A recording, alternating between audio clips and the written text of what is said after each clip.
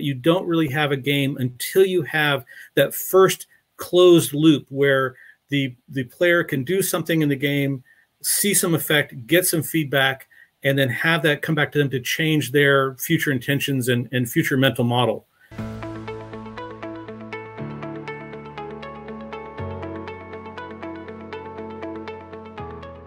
Welcome, welcome to Secrets of System Design with Mike Sellers.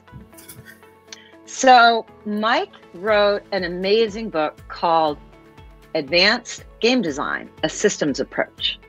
Those of you who know much about game design know that game design is a team sport, and there are lots of different um, approaches to game design. There's narrative, there's very artistic approach, there's a simulation approach. There's uh, puzzle games. There's combat games and, you know, very advanced combat systems. A lot of people go into making games. But what underlies all of the most long lasting digital games, and in fact, what underlies great board games as well, are systems. And that's what we're here to talk with Mike about today to learn about what systems design is, why it's so important, and why you, as a product leader, entrepreneur, innovator, need to harness the power of systems design in your work if you want to thrive in the 21st century. So, Mike, I want to start off by asking you why you feel systems design is a key 21st century skill.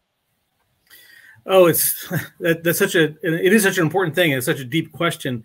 I think what it comes down to is that um, systems are everywhere. They're in everything we do. They're inside us, in our relationships, in our products, in how our products are situated with where they're used. So they're they're really just um, they're they're everywhere. Uh, and the way we look at we start to find these is by looking for interconnections between things rather than just snapshot values. So, you know, from a business point of view, if I say our inventory is 100 units, that tells me something, but really doesn't tell me a lot. If I understand, oh, the system, that the inventory is part of a system, and I need to understand, you know, our income and our outgo and all of that, suddenly have a much better understanding of our of, of our business. And that, you know, we can look at that across everything from our own personal health to, like I said, our relationships and our businesses and, and certainly games too. Uh, but this has been something that that has been identified uh, at least as far back as the mid 1990s uh, by the U.S. government as a key 21st century skill. Uh, I think it's something that more and more, as interconnected as our world is becoming and has become, is just something that we all need to understand better than we traditionally do. Got it. That's so. It's not just you who's saying it; it's been identified by the government. Exactly. Yeah. So what are some of the best metaphors that you found for explaining systems to everybody? It's so funny because we all sort of intuitively know this, and yet um, articulating as is really pretty difficult sometimes. Some of the, a couple of things I guess I can point out that are the simplest things. The first one is loops. Um, loops happen everywhere, where you have you know uh, one thing that affects another thing, and it goes back and affects the first thing. As a very simple example, uh, we certainly see those throughout games and throughout all different kinds of products. Uh, we can talk about um, reinforcing loops and balancing loops. I talk about a lot about this in the book. Um, but for example, a, you know, a, simple example of a, a balancing loop would be uh, like a thermostat in your house. Uh, where uh, right or an, or an oven. So if I have if I'm trying to heat up an oven or heat up my house, um, I I you know turn up the heat, and as the heat gets closer to the goal that I have, uh, it actually applies less heat into the system. So that, that balances itself. That's a nice balancing loop. Um, you can also look at supply and demand, for example, as a um, uh, that, that where uh, two parts of the system will balance each other, um, as opposed to uh, a reinforcing loop where one thing drives another. So I can say things like, um, the more uh, money you have, the more uh, the more interest you're going to get on that money, and that's going to give you more money, which gives you you know th- that just becomes a, a, a increasing spiral. Of course, the same is true of debt. Uh, so it's not always a, a positive thing, it, uh, but you can reinforce negative things as well. Um, so anyway, loops are, are really just about the simplest metaphor we have. And it, one of the other kind of hidden important thing there is we tend to think of things as being very linear, where A affects B affects C, and we're done. and that's uh, that's a very kind of reductionist, very American 20th century way of thinking, as opposed to thinking in things being interconnected with each other and really affecting each other. And that leads us to the other big metaphor that that I, I love and and spend a lot of time looking for, and that's emergence, where you have uh, these loops in a system that create a new thing at a higher level of organization. So. Um, you know, you might have a bunch of people, 10 or 12 or a thousand people working in a product group, and they create a, a new division, which may, or they, you know, they create a, a, corporate division or a new company. And just like in a, in a flock of birds, this is just such an excellent example.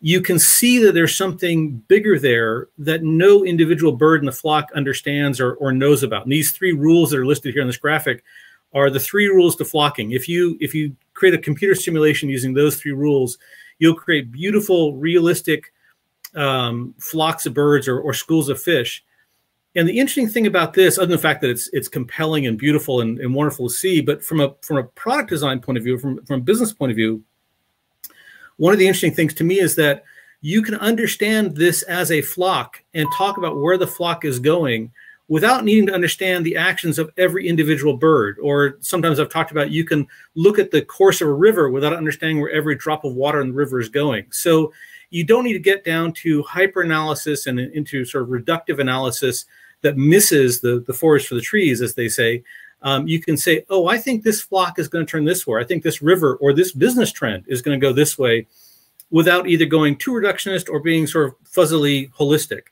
Um, so if you can look for uh, loops and emergence uh, in different different systems around you in, in your life, I think you're going to be a long way towards having an intuitive understanding of, of how systems work. Awesome. Loops and emergence that I'm I'm just absorbing that because it's so good. So let's on that with more concrete examples. Sure. I, who doesn't love examples? So we already talked about the thermostat, right? That's a simple loop, and the goal is homeostasis at a particular exactly, yeah. Which means you know changing things till you achieve, uh, you know, a set point that you can hold.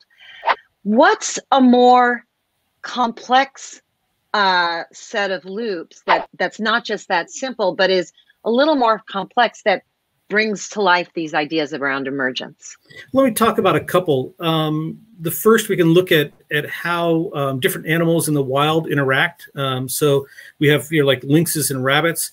Um, this is a, a, a, classic of both mathematical modeling and and uh, and systems modeling. The idea being here that uh, lynx eat hares or rabbits, and um, the more hares there are, the more lynxes you can have because you're supporting the population. And you might think that this population would oscillate down to just like you said, a homeostasis where it, it sort of evens out. But it turns out that doesn't happen. What we see instead of these, these this roller coaster where you have a dramatic increase in the lynxes and then they they crash because there aren't enough rabbits, and the rabbits increase and then the lynxes follow them. So there are some the, the emergent nature of this here is the cyclical nature so if for example this again just to relate this back to something more more business like if i saw my business crashing and i realized oh you know is this a terrible thing? We're about to go out of business. Or uh, is it just that um, in my business you know our sales really slow down at the end of the year? So it's not not to worry.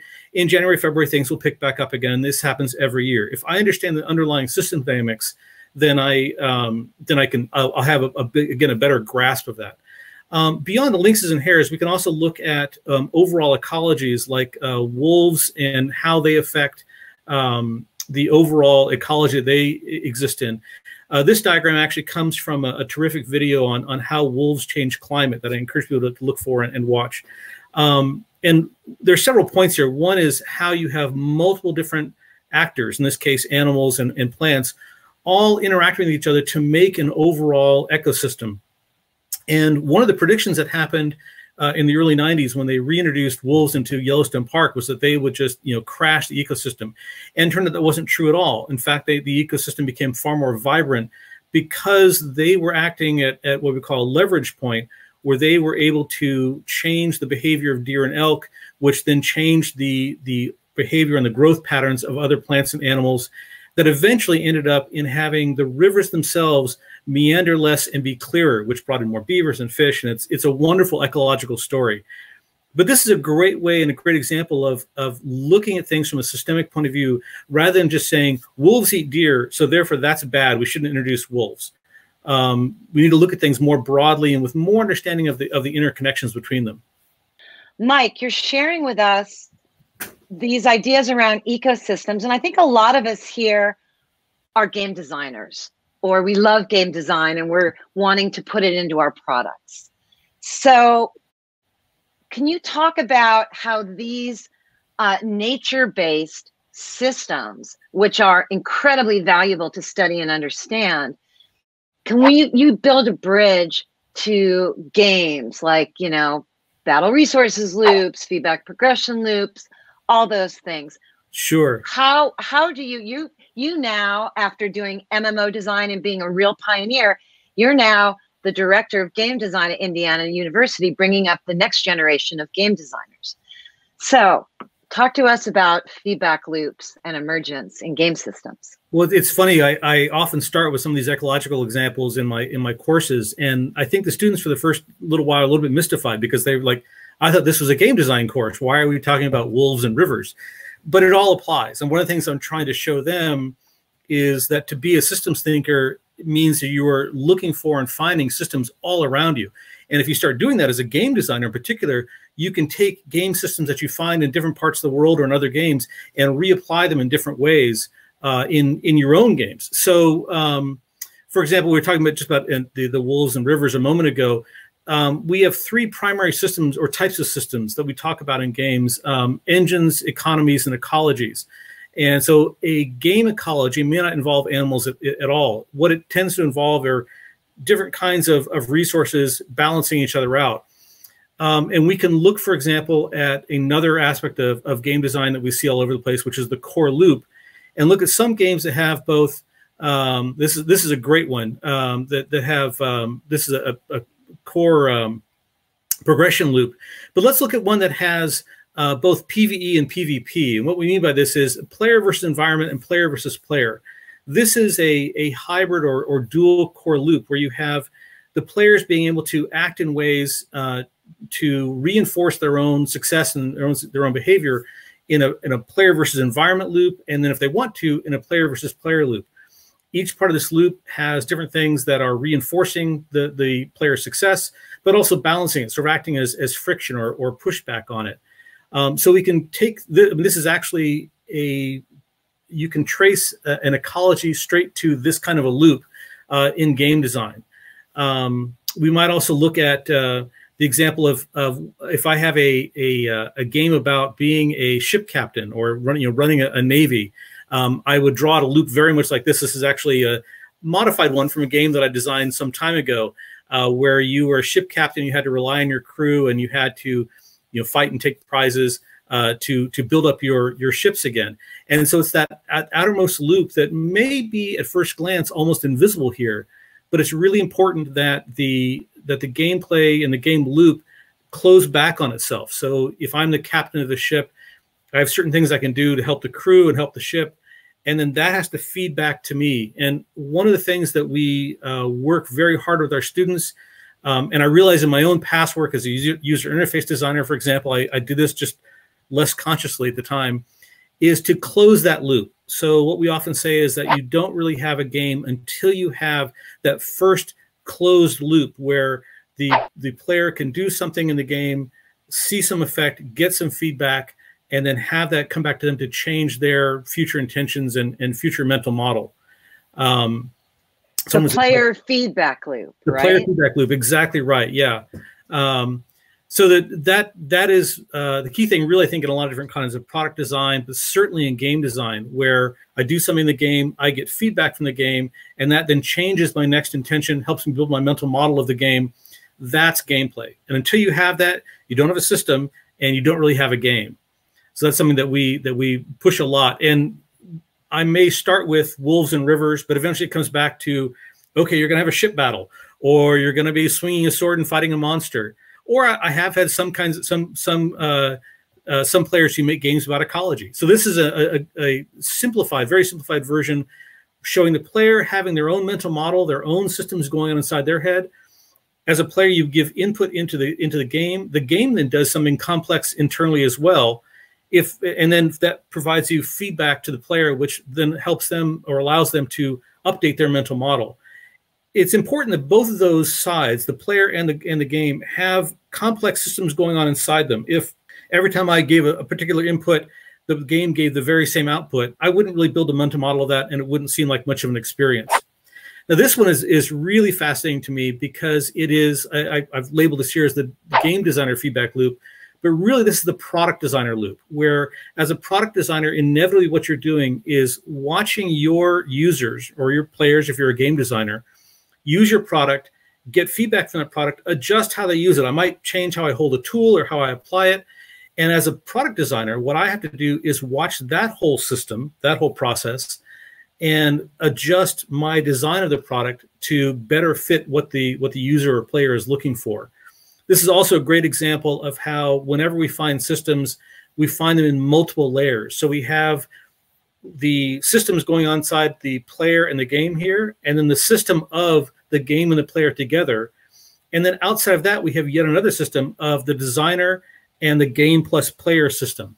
So we have these multiple levels, and one of the things that we we see a lot in as game designers, and I think just as systems thinkers, is finding this ability to look at multiple levels of the system at any given point, sort of like zooming in and out of your focus. So I can say, what's the player thinking at this moment? What's their intention? Or what's happening at the game at this moment? What's what's going on there? Zoom that and say, okay, so what feedback is the game giving? All right, how does that affect the player? and then zoom out again and say, how does it affect me as, as a designer, that feedback from that system, so I will now change the game to be slightly different and give the player a different experience. And again, this generalizes out to all different kinds of product design, whether you're designing, you know, hammers or medical scanners. It, it really is the same process. I love that. It's a key skill for product owners, for product leaders to be able to do that zooming in and out. Exactly. So you're right. It isn't just for game designers, it's for all product designers. What goes wrong in product design and game design if you don't understand systems? Oh, everything. Uh, let me let me narrow that down just a little bit. Um, if if you don't have um, if you don't have a system in your game or in, in your product, uh, you're not really going to have. Uh, excuse me. Particularly with games, you won't have a game if you don't have a system there. Um, there are a lot of uh, I see this a lot with my students where or young game designers where they will build something and we, we tend to call it a toy. It's like this is an interesting, fun little thing.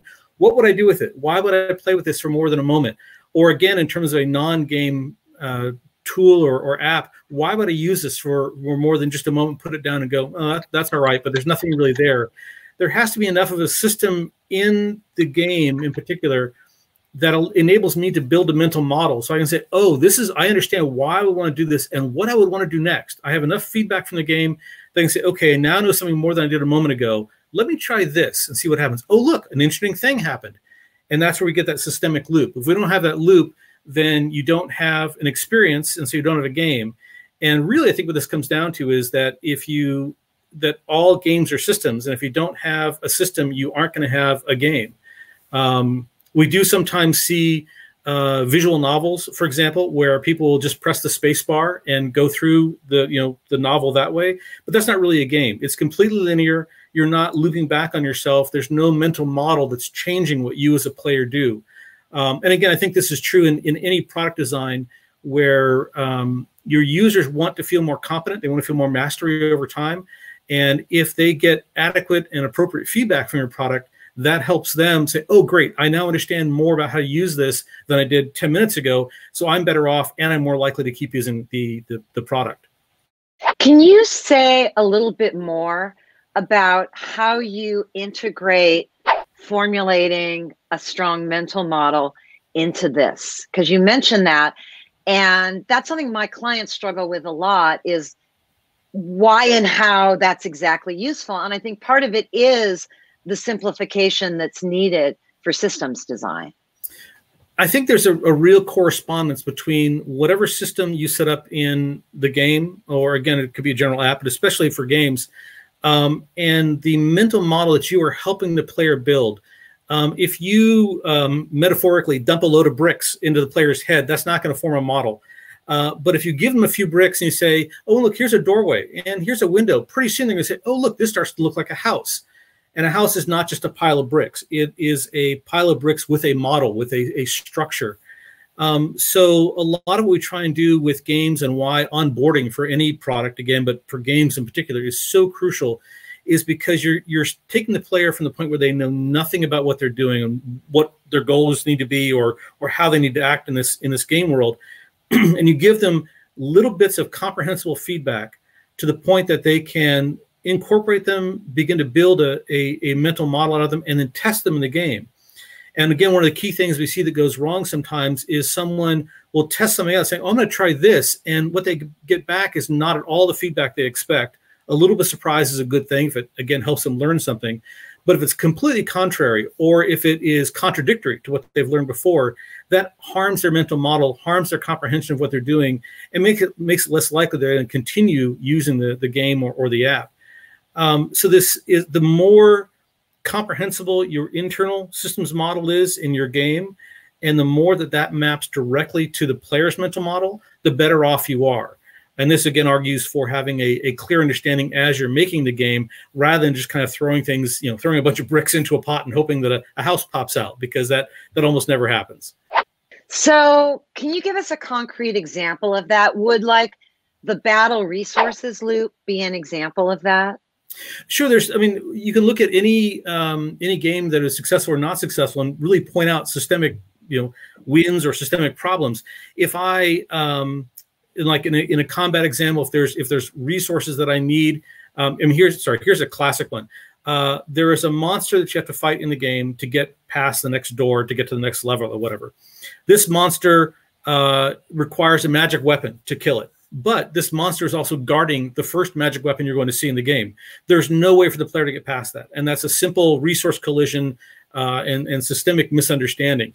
Or if uh, you can expand that out and say, you've taught the player by the last three monsters that they've fought how to fight them. That you you you know you could say this is a color-based combat system. You have to go red, then green, then blue. And with the next one, suddenly you have to use yellow. Well, they've never seen yellow before. They don't they don't have any. That's not in their mental model and that will be considered to be a, a, failure on the on the player's part because now you're requiring of them things they haven't seen and can't extrapolate. Now there is a bit of of alchemy there in that um, uh, you want sometimes to have the players be able to extrapolate somewhat, and, and what that somewhat is really depends on the player. So. Um, it's a little bit like having an exam uh, in in a you know a science class or something where my teachers used to always tell me, we're not going to give you the same problems you had on on the homework. These are ones that are going to be similar to that. So if uh, if you've taught the player, hey, you can mix um, you know blue and red and make purple, but you haven't taught them that you can mix red and, and green and make yellow. But maybe they should be able to understand that. Then maybe with that, that they should be able to extrapolate that. And then that, if they can, that feels like a win to them because they've said, "Oh, I built this. I, I used what I knew my mental model that these two colors combine this way. I bet if I combine these two colors, they'll combine a new way that gives me you know uh, something new that I can do in the game. When that happens, player feels players feel a tremendous sense of satisfaction and mastery. Oh, that's such a good example. Yeah, and what you're pointing out is that a lot of mental models come down to an implicit rule set. Yes, very what, much. You know, it's what what do I know from interacting in this world that I could use to make assumptions about what the right thing to do is and how to behave. Right, exactly. And and what the possibility space looks like. And what's fascinating to me about that too is that uh, when I play games, sometimes I'm naturally enough looking for the systems in them, but sometimes the people who design them weren't designing them as consciously as I would like. So um, we sometimes talk about leverage points where you can say, I want to tweak the system here because I think it'll have a disproportionate effect elsewhere if that's my mental model because I understand how systems work, but that's not what the game designer had in mind, that might not work. And suddenly I go, oh, they weren't really thinking this from a systems point of view. That's always a little bit unfortunate from my point of view because it's also very intuitive to have, you know, if I if I make better soldiers over here, then I'm going to get a, a, a, disproportionate effect over there. Uh, and sometimes it doesn't happen, and that's that's kind of too bad.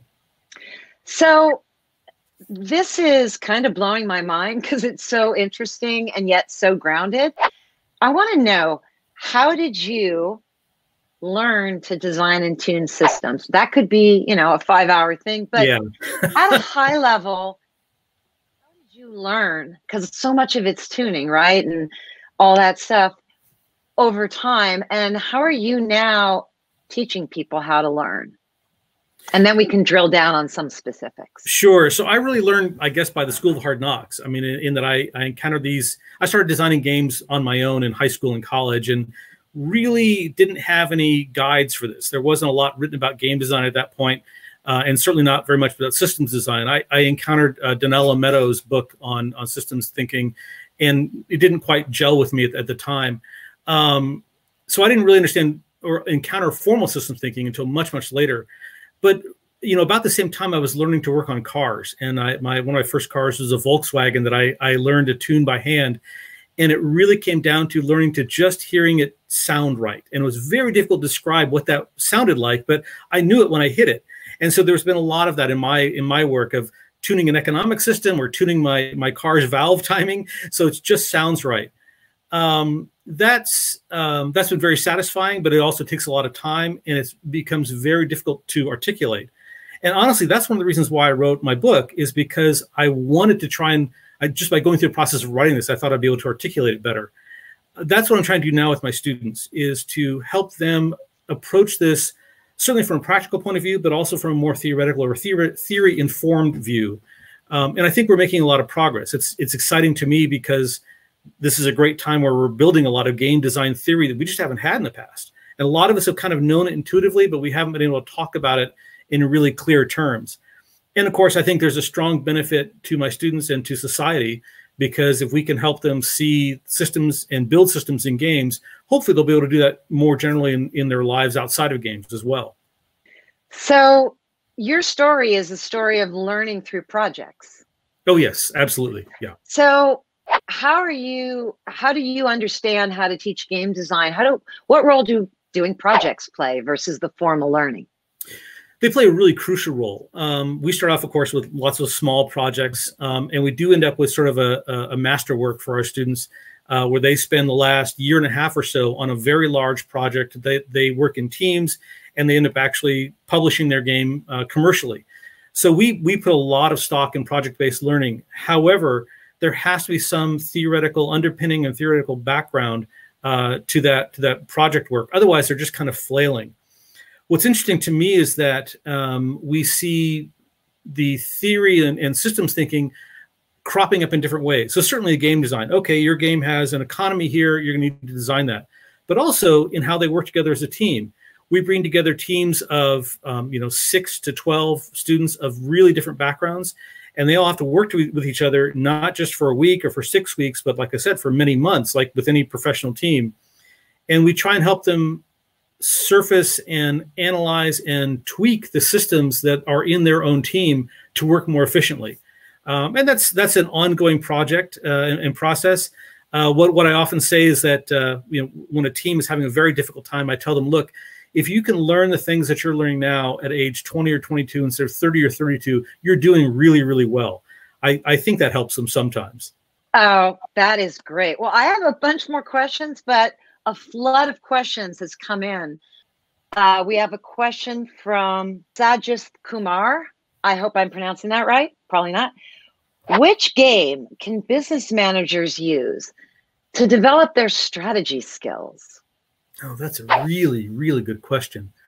Um, so there's a lot of them, but one thing I'd say is no matter what game or games you play, um, I think there's sort of a three part of this. First is get everyone ready, have everyone understand the game, play the game, play the game several times, and then talk about it and talk about what systems you found in the game that you that are just fun and hey that was cool but also how can we apply this to to our own situation so for example an easy one is a, and, most of these, by the way, are going to be tabletop games because they do translate so well. The systems are right on the surface because there's no computer that they can hide behind. The computer is the player. So there's a game called Power Grid that is about uh, building an electrical power grid in Germany. Uh, when I brought this game home, my kids looked at me like, "Really? That's what we're going to play?" But that's now a, a staple in our household. Um, another one along uh, sort of similar is Terraforming Mars, which is about terraforming Mars. Um, kind of on the other end, there's a game called Seven Wonders, which is a tabletop game that is about building your own ancient civilization. all three of these games have very different but really recognizable and comprehensible systems in them that will with a little bit of work on your part will help you say how can we apply this to to our situation now everyone's office and, and business and product situation is going to be different and there's you're going to have different issues there um, one more i'll mention and that's uh, pandemic uh, which is a cooperative game um, or actually one more. Maybe even better than pandemic is a game called burgle bros or burgle brothers where in, in pandemic you are a team trying to overcome a, a, a series of global pandemics. In burgle brothers you are a sort of an oceans 11 kind of crew trying to break into a building. Both these games are notable that they are completely cooperative. Everyone has to work together and that again can teach you an awful lot about where what it means to be part of a team what it means to use your superpower on a team and what it means to sometimes step step aside and let someone else shine a little bit. Um, these are all fantastic games i think will do great for anyone in, in an office or product situation. Awesome. We're going to make sure to link them later in the comments on this um, on this live stream. So thank you so much mike.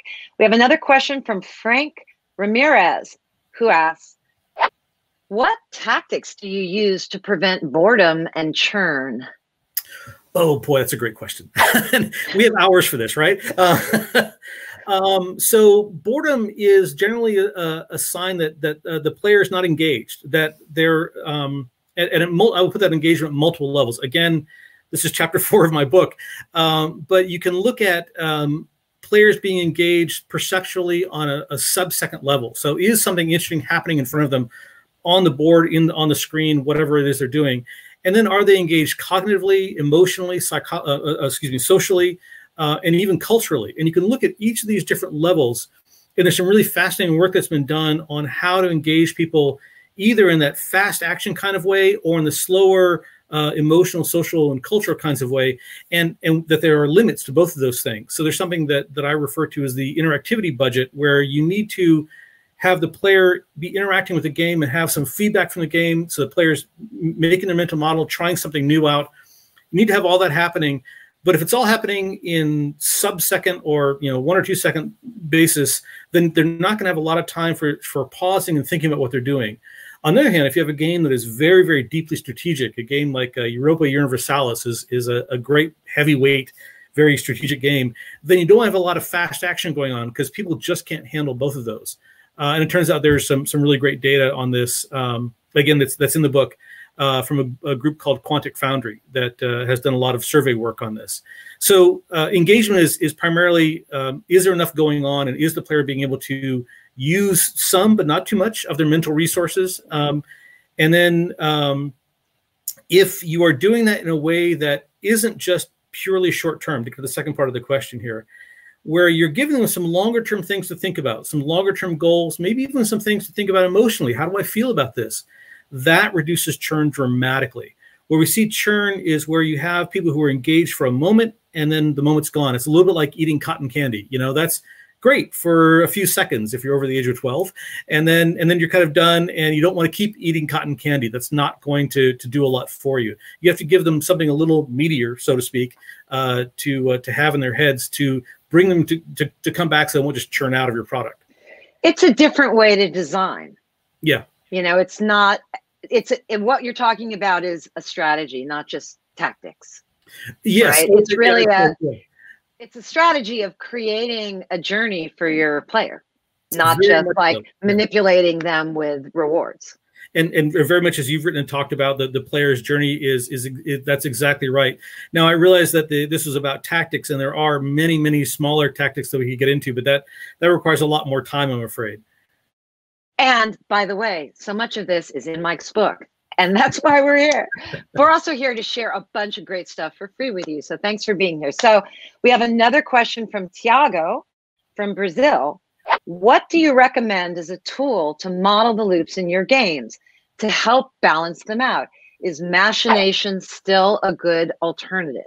So Machinations is great. First of all, there's a new version of Machinations out. This is by a tool by uh, Joris Dormans that is, is, a terrific tool. Uh, he has a, a, he had an old Flash version that isn't up anymore, and he has a new version that's out that, that's quite good. Uh, there's also a tool uh, by Nicky Case called Loopy uh, that's a little simpler. Uh, actually, it's a lot simpler, but but it's it's not bad. Um, for for early you know early loops. What I've found with machinations, both in my own work and in teaching it, is that it is great for certain kinds of resource bound games. If I'm making a, a strategy game or a game where I'm um, you know, chopping a lot of wood and getting a lot of stone, trying to build buildings, those sorts of resource chains, then uh, machinations can be great, and it really is a wonderful tool. But it's also very limited, and I think you need to be careful that it doesn't limit your thinking uh, at the design stage of a game. Honestly, the best tool, and I've tried many of them, the best tool for me still is just a whiteboard. Um, I, I often end up at the end of an hour design session with you know black ink on the on the side of my hand because I just I'm too impatient to get to the erasing, so I just erase them with the side of my hand. Um, but that kind of analog tool is, is really still the best. Um, that said, once I get something kind of worked out on, on, the board, and that does take a long time, don't underestimate how long it's going to take you to have a good set of loops on a whiteboard. I might then take it to machinations and model out the dynamic behavior of the system to make sure that, that things work really well. Um, I know that uh, I have caught myself and my students uh, in, a, in a small building a small game that works and you kind of know you're onto something when you just keep playing the machinations version. Uh, so that's a good sign but it's not it's not the first tool i would turn to but it certainly is a good one. Oh that's great. Thank you for that very concrete and actionable uh, advice. Wonderful. So we have something from ron v who asks what's a good heuristic or something to keep in mind when you're tuning oh boy. for those who aren't as used to tuning um, there's a couple that uh, one that I believe came uh, came from Sid Meier, which is that if something is going wrong, this is the system is there, but it's broken, something's not working. And first of all, this happens to everybody. So don't. The first heuristic is don't make the mistake of saying I'm a bad designer. That's not the case. Every system is terrible when it starts out. Uh, and I'll, I'll, I'll, plug Ed, Cat, Ed Catmull's uh, book, uh, Creativity Inc., where he talks about how their Pixar scripts are all terrible when they start out. Same thing with systems so one thing that Sid Meier said was double it or half it. If you have a value, you know, I've got something where the um, the rate this factory is producing widgets is 10, and that's not right. I'm either going to make it 20 or five. I might make it 50. I'm just try something kind of outlandish because you, you, it's going to be broken. It won't be any more broken than it is now, or if it is, you'll learn something by doing that. What you're trying to do is to converge towards a solution. So you're not going to converge towards a solution by going from 10 to 11 or 10 down to 9. That's not going to give you enough information you really want to look for where does this thing fall off? Where does this, the system completely break down? Okay, now let's retreat from that. Retreat halfway back or go again halfway as big, or you know, twice as big. Um, what I found is that by doing this sort of stepwise approach, you can get to a um, you do two things. You get to a to a valid place in your in your system where okay, this value or these set of the set of values seems to work. The other thing is you can uh, jump over local minima or local maxima. This is a, a, problem in, in artificial intelligence and a lot of data modeling where you might have a system that sort of settles into a local well and you think, oh, well, that's that's great. That's the best it can be. But if you had the, the way they talk about it in AI is throwing a little more energy into the system to, to try some broader values, you might find uh, an even better value, a more global minimum or global optimum rather than a local one. But that requires taking some adventurous steps and saying, well, you know, this value at 10 doesn't work. Let's make it 100 and see what happens. Wow, that was crazy. That didn't work at all. Okay, let's back it off to 50. Okay, no, 20. And then you go, okay, maybe 15. How about 17? Now you're starting to zero in on, on where you want to be. Um, there are, um, in any kind of new system, any kind of new game system or um, uh, you know, product system, I tend to be really skeptical of um, sort of mathematically closed techniques, and they, so all the techniques that I have are very heuristically based like this. So it's kind of messy, uh, and things will be broken for a while. But ultimately, what if you can see that convergence, you know you're on the right path. So, in a way, what that comes down to is making mistakes enthusiastically and aggressively.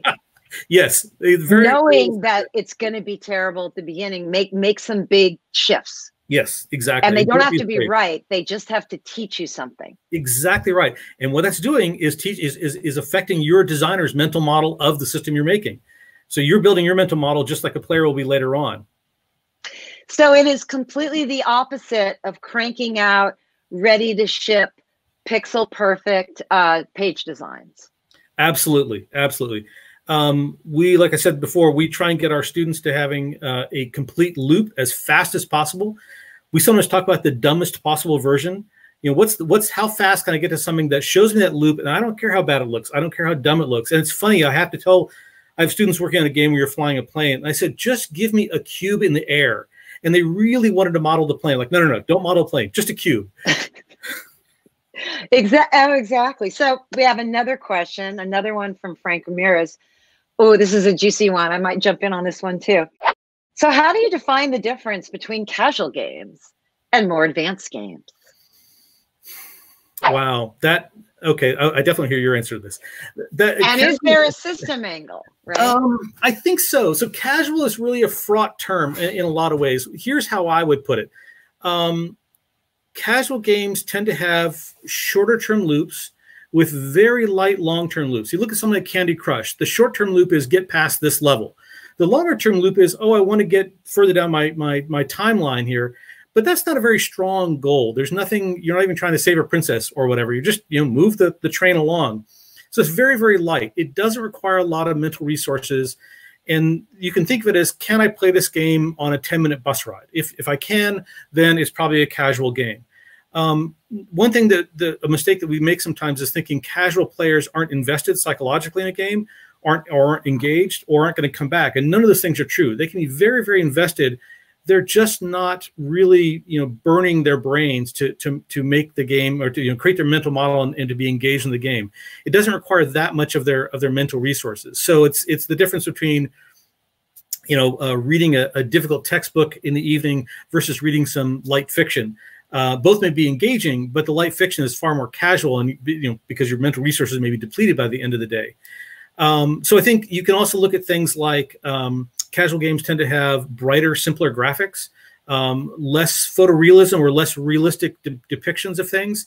Um, again, they're just easier to approach. And um, finally, the last thing I'd say is that they are much, much easier to learn. I can learn a casual game in you know just a few moves uh, of, of whatever that means in the game and I have that loop very quickly where I understand I have a pretty good outline of the mental model of the game. So um, uh, Angry Birds, the the loop, the feedback loop there for me to understand what's going on in the game is really simple. And I think they do the tutorial in like three images. And so that's that's a great example of an engaging, you know, highly engaging, very casual game. Amy Jo, I'm, I'm very interested in, in your thoughts on this too. I love what you said. I think those are great things. How hard is it to learn? How much of your mental resources does it take?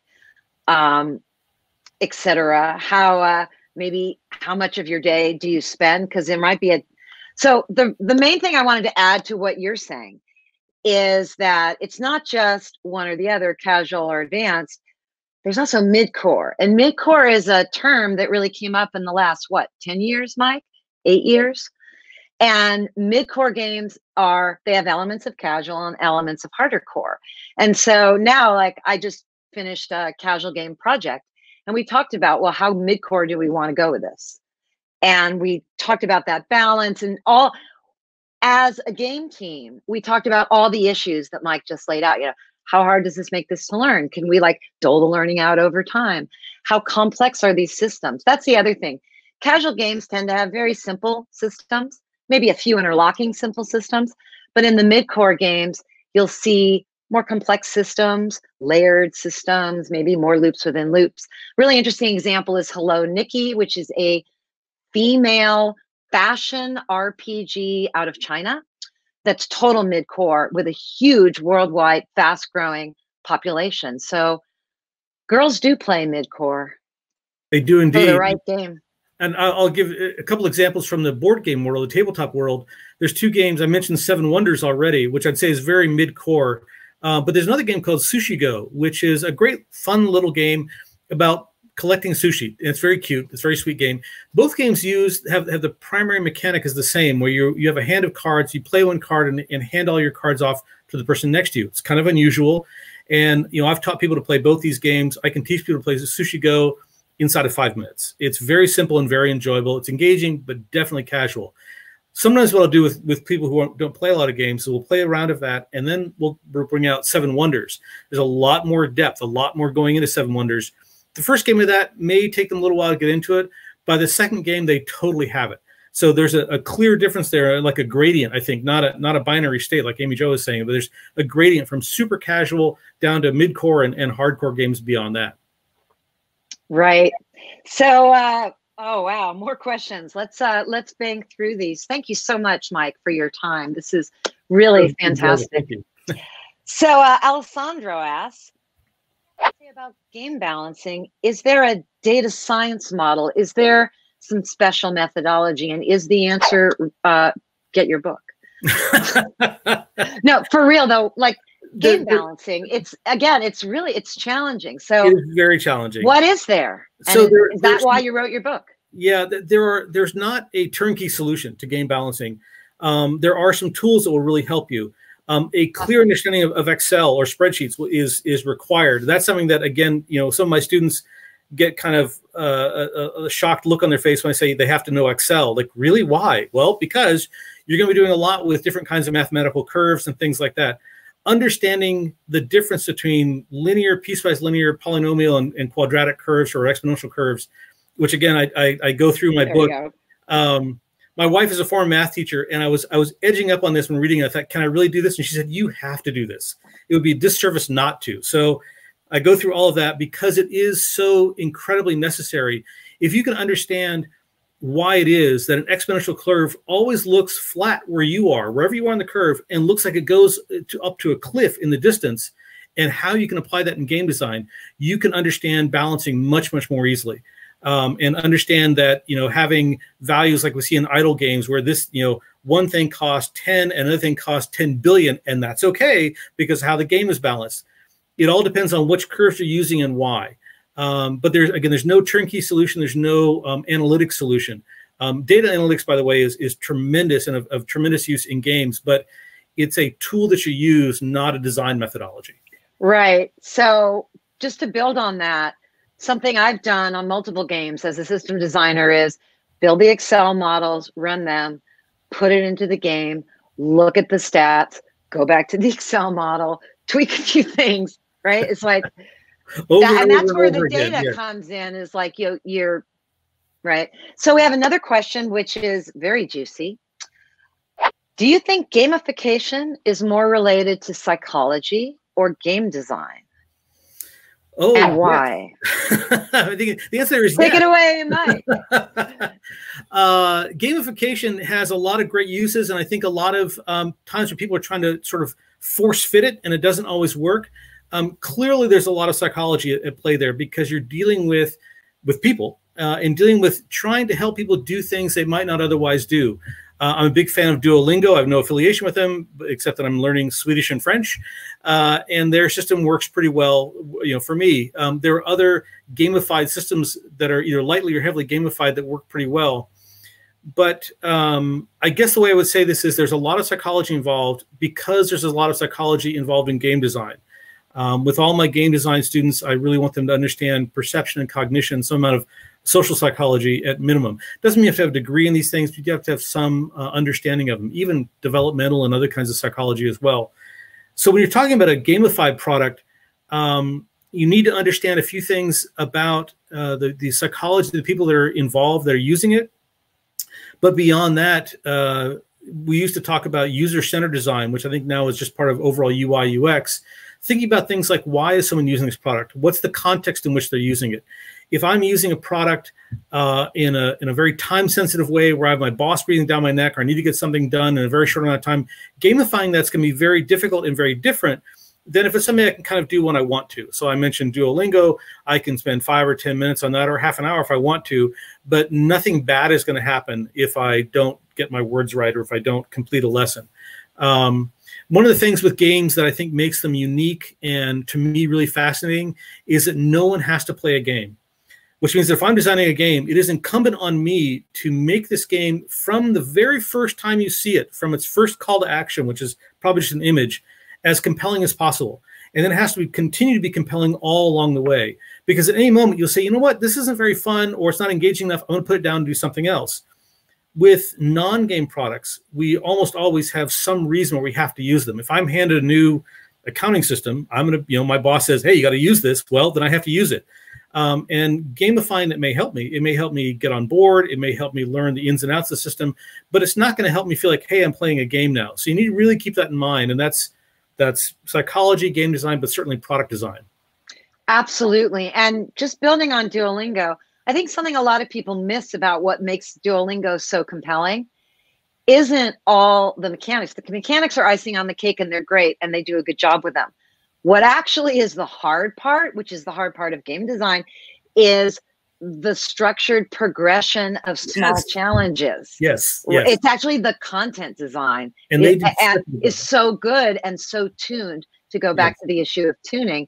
It's always at the right level of challenge for you. And and all the mechanics are in service of that. And right. so many people with gamification just try and throw the mechanics on, but they don't have an engaging activity that gets better over time as you get better.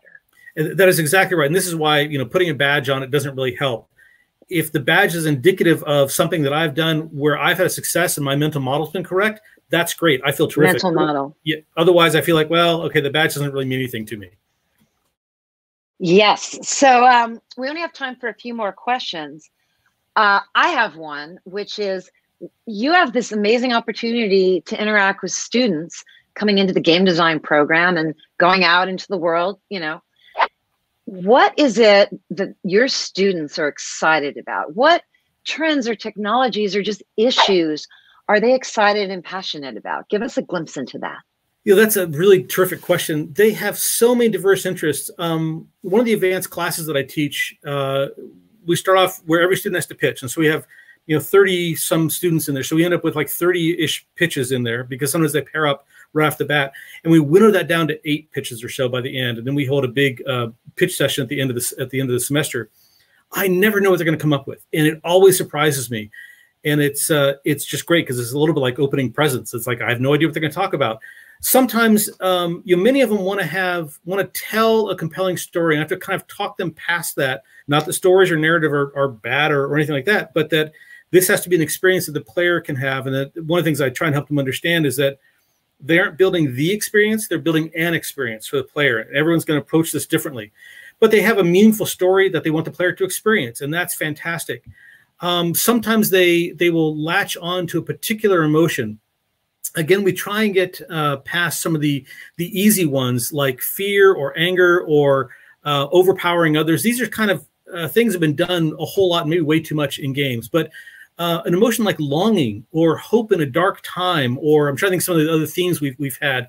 Um, we we have a, a game that my some of my students are working on now, where the the emotional resonance they're trying to get to is you know something is essentially a crime has been committed, something very wrong has happened, and you can never make it right, but you can help make it righter than it is.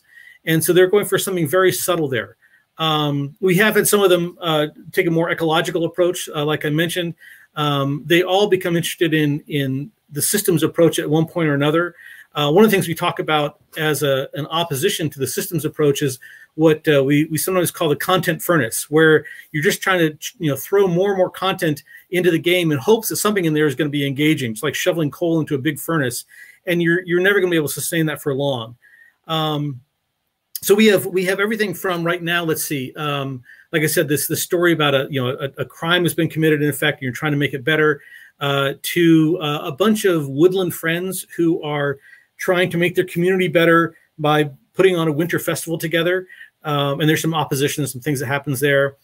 Uh, one where you are uh, the plane one I talked about. You you are a, a, a, pilot trying to fly different supplies around to different parts of the island to help the island after a storm. So there's just a, a huge variety of games. And like I said, one of the great joys of, of my job is I never know what they're going to come up with next. Uh, and you know, really rarely a week goes by when a student doesn't come in my office and say, "I've got a great idea for a game. Hear me out on this one." And you know, I always try to because you never know where the great next great ideas are going to come from. Exactly. So just about out of time, but one more question has come in. Again, Mike, thank you so much for your time, and thank you all for your questions. That's really what makes this fun for us. So Alessandro asks, "What technology or trend do you think?" Will change gamification for sure. Virtual reality, Internet of Things, some other thing. What's your sense of that? Um, I think Internet of Things is huge, but I think it's going to come at us in ways we don't quite expect. Um, I don't think it's going to be um, necessarily toothbrushes that tell when we've brushed our teeth enough. Um, but um, you know, if I have um, if I have a product line and I want people to buy uh, ten of my products, maybe if I can tell that through RFID or things like that that you have bought seven of them, I'm going to give you a massive discount on the last three to encourage you to buy them. that's a just a, a light amount of game design and gamification in in product purchase and product use. Um, I think we're going to see great things from augmented reality. I'm still very bullish on that for the long term. I think it's going to be, you know, we're we've had a few stumbles recently. Um, what I've said for a long time is that uh, I think virtual reality is great and is going to have some niches that it uses very well, but that overall it's sort of the opening act for augmented reality. Um, the idea that I can see different parts of the world differently with a virtual world overlaid on the real world, I think is very, very powerful uh, maybe too powerful. We'll see. I think there's some some challenges to overcome there, um, but I think it's inevitable that these kind we're we're all becoming more interconnected with the products we use, with each other, with our worlds in general, and that's just going to continue. And gamification, as such, I think it's just going to sort of ride along that and help us engage better with the world via multiple different kinds of technology. So I have one last question that I'd really love your thoughts on as we close, which is when you look at today's social media landscape through your system designer lens, and you think about loops and emergence and unintended consequences, mm-hmm. what do you see, particularly with Facebook? You know, I think that there are, as in any complex system, there are multiple loops there, multiple systems that are interacting, and, and, and sometimes complementing each other and sometimes really um, uh, competing with each other. Um, there's a social system that uh, when I post something and one of my friend likes it or puts a little heart on it, that's terrific. I mean, that's that's uh, that that gives me a, a, good feeling. I want to interact with that person more, and as such, I want to interact with Facebook or with other social media more. Um, so we all like keeping up with our family and friends, and I think there's a lot to um, that makes that a wonderfully reinforcing system. Um, I went to an international high school, and so I have you know, old old friends that are literally around the globe. And we were very few of us were in contact prior to social media, but we many of us are now uh, because of that. So there's a lot of great things that have happened that way. At the same time, there's a couple things I think most of us don't like. Um, we don't like noise in our system. We don't like spam or trolling posts or, or things like that. Um, so one of two things. There's an interesting really unconscious systemic thing happens that I try and fight against, and I have to say I've only been partially successful. And that is we either on our own uh, weed people out or or focus more on some people than others, or like on Facebook or YouTube, we let the algorithms do it for us. And without maybe ever knowing it, we've gotten ourselves into an echo chamber where everyone sounds and, and talks just like us and has the same view of us. And so, on the one hand, you could say, well, everything's great because everyone thinks just like I do. But on the other hand, we are missing out on, on a really broad diversity of views. Now, admittedly, some of those views are really toxic and you don't want to have those in your life, and that's perfectly understandable. But finding that balance between not having toxic views in your life or toxic people in your life and not having only people who agree with you is a really tough thing. And unfortunately, I think some of the underlying software systems, well, it's clear some of the underlying software systems are enabling that process rather than helping us find a balance, enabling the, the echo chamber process. There's a great cartoon. I, I wish I had it here. Uh, it's a couple of farm animals saying, "Isn't it great? We get all the food we want and you know free room and board." And the caption is, "When you're the if it's free, you're the product, not the customer." And it's true. We are the product. Uh, we are being sold to advertisers on any kind of social media. And I think as long as we understand that and understand what part we're playing in the system and how we can choose mindfully to engage or disengage with the system, we're much better off than if we just say, well, there was an ad or a post, and so it must be correct and it must be true and it must be worth my time. Not those things are not necessarily true at all, but that takes a little bit more responsibility on our part to say, as an active consumer, is that something that I want to attend to? Is that something I want in my life? Do I really think that's that's correct? For better or worse, I'm I think known amongst my friends as the person who will fact check something and go as quickly as possible to primary sources. I just think that's vitally important, and it it, it punctures a lot of of balloons of of uh, things that are dubious or not necessarily true. Um, but I think that that kind of of view of the system that I'm in in my social media eco- ecology is really important. Oh, that was beautifully said. That gives me a hopeful feeling, which is a great note to end on. Thank you so much, everyone who came and asked questions. Uh, we will continue to interact in the comments. And thank you, Mike, for joining us and sharing your wisdom and perspective. Again, Mike's book is linked in the comments. All the diagrams we showed today are from Mike's book. So if you love this and you want to dig deeper, you know where to go. Thank you all for coming. Thanks very much. Bye for now. Bye bye. Want more? Join me in the Game Thinking Hub, our free group for product leaders who want to innovate smarter. Go to gamethinking.io slash hub and sign up today. I'll see you there.